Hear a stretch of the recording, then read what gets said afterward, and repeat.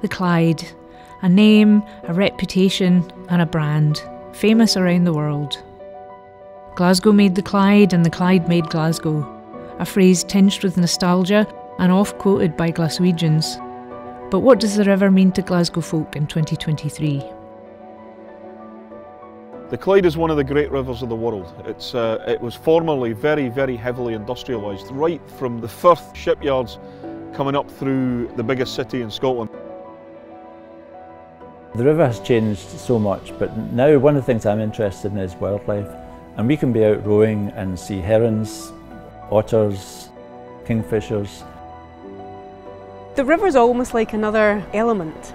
You go outside and you feel the sunshine and you feel the wind, and when you go on the water, you feel the water underneath you.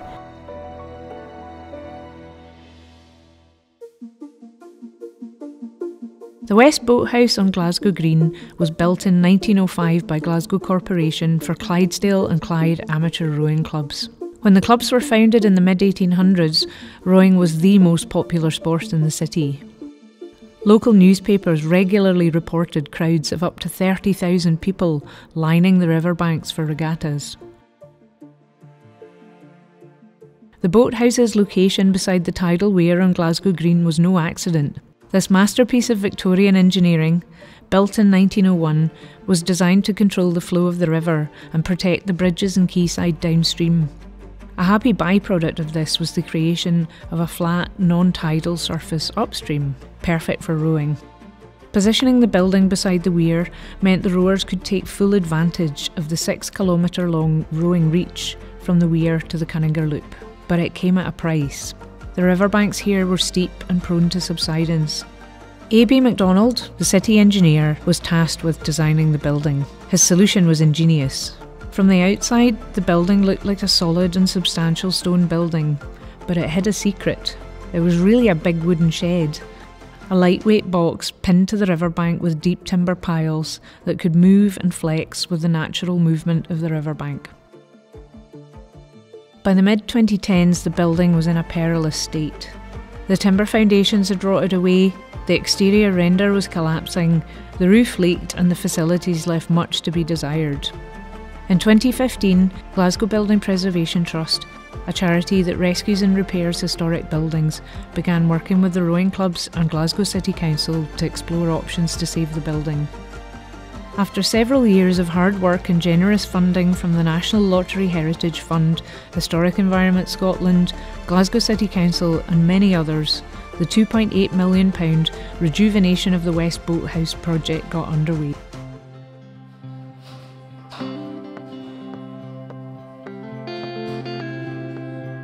Because of the unique nature of this B-listed building, um, and the timber frame, there's a lot of negotiation and planning that has to go through with the architects, Historic Environment Scotland, Building Control and the funders just to make sure that all the repairs are being done in a proper conservation manner.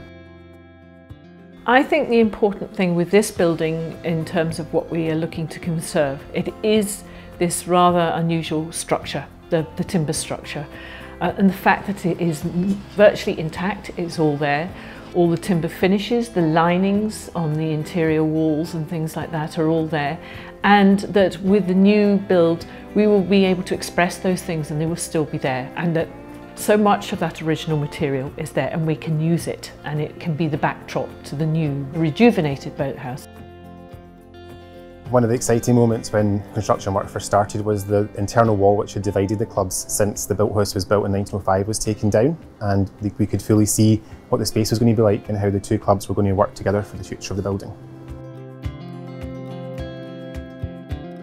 I think the most surprising thing about the job so far is the robustness of the structure and, and now that everything internally is removed you can see what's left and in areas it's, it's amazing what's still standing in reality. And it's just a testament to how the structure as itself is, has been originally built and is very, very stiff. We want to try and keep as much of the structure as possible, much timber as possible, and there are two options. One, you remove it and you replace it with a light for light timber, or two, we can go down a modern route of epoxy pouring resins. That's keeping the same structure and as much of the previous timber in the building as possible. On the rafters and joist repairs, um, the ones that you can see above our head just now were decayed, so the only way around about it for that section there was to supplement joists and rafters onto the side of them. When working on these support beams for the balconies, they were in a very poor state. The ends these were totally gone at the end, but the other ones that are really totally renewed, they were actually that bad, they can't be reused. You actually could pull them out by hand. The most difficult bit on it was pr probably to cut these out to keep them the same shape as the originals because the thickness of them and the density of the timber was quite hard to cut the shape out.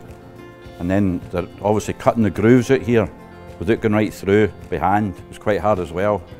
So it's nice to work on old timbers and obviously try and retain as much of the original building as you can.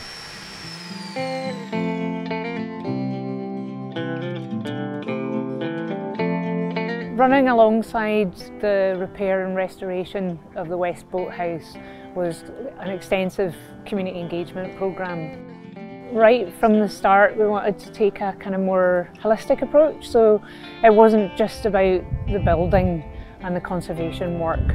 It was about where that building sits within that wider social, cultural context and also you know, it sits on a river, so it made sense to kind of tie it in with that and, and think about the river in a bit more depth.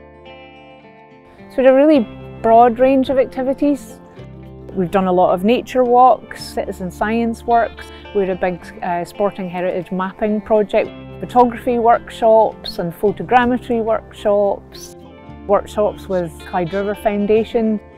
We worked a lot with Glasgow Disability Alliance and, and, right from the outset of the project we had this boat building project with Archipelago Folk School who are boat builders and we made two small skiffs, model boat building as well.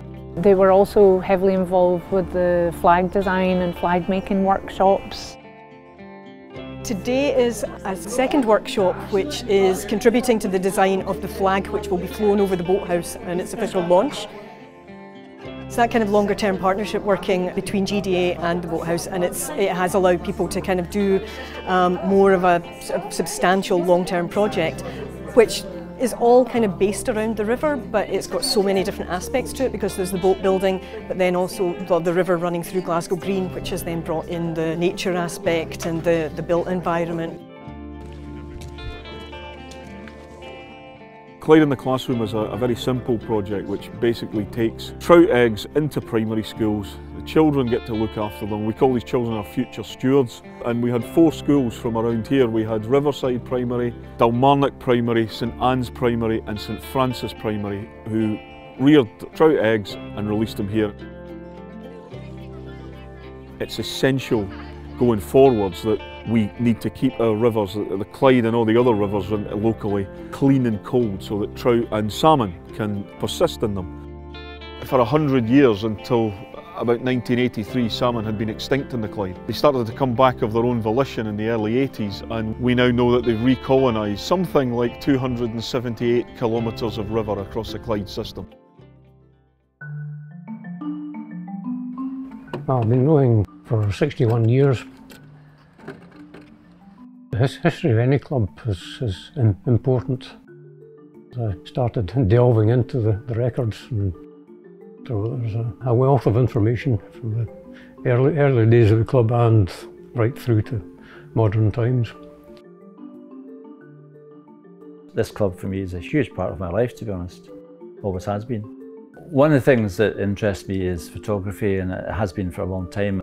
I've always had an interest in, in making sure that photographs were going up in the club, snapshots of people in the club. And I think at the time I didn't think about it in terms of historical value, but you do realise when you look around the existing older photographs that at that time they were snapshots effectively. But in 100 years' time, the photographs that I've put on the wall, they will become historical artefacts, if you like. And I think that's, that's quite important.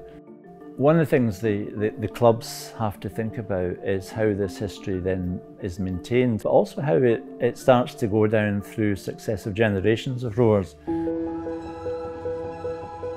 With the foundations complete and the building stabilised, the team began work on the roof. 25,000 new tiles, weighing in at a hefty 20 tonnes, were fitted over the spring of 2022.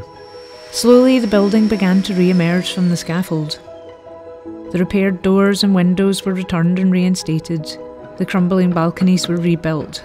A new flexible, lightweight render system was applied to the exterior. Insulation and new heating ensured the building would stay toasty through the winter. And a platform lift, accessible toilets and showers, and a new pontoon has brought the facilities up to modern standards for a wider range of users.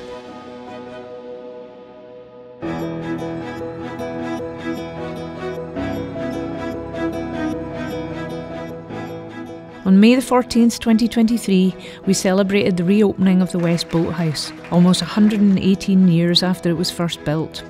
The event was a celebration and a thank you to the many individuals, organisations, and funders who gave their time and resources to the project. It's amazing coming back into the club and feeling that the building is, is back to its former glory. It's really a rebirth the building has just enabled so many people to enjoy rowing in the city of Glasgow, and it's fantastic that it's going to enable so many more generations of people to enjoy rowing in Glasgow.